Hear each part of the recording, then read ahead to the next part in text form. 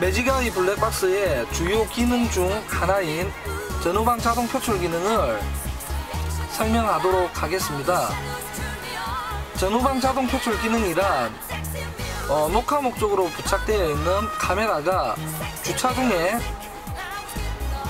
자동으로 기아 변속과 연동하여 풀 화면으로 주차 시에 도움을 줄 수 있는 기능입니다.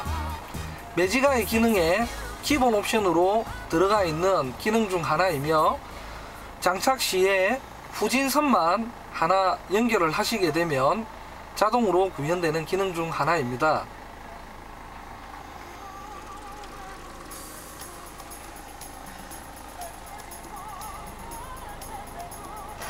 후진 기아 변속을 하도록 하겠습니다. 후진 기아 변속 시 후방 카메라에 영상이 모니터의 풀 화면으로 자동 표출 지원이 되게 됩니다.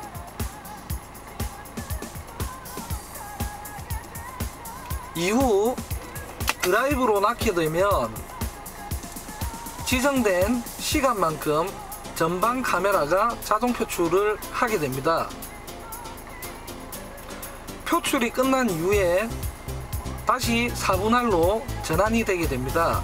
자, 빠른 속도로 기아 변속을 하도록 하겠습니다.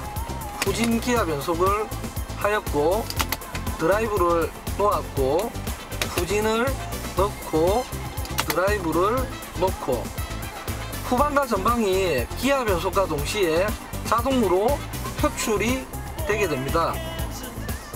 주차 시에 상당한 도움을 드릴 수 있는 기능 중 하나입니다.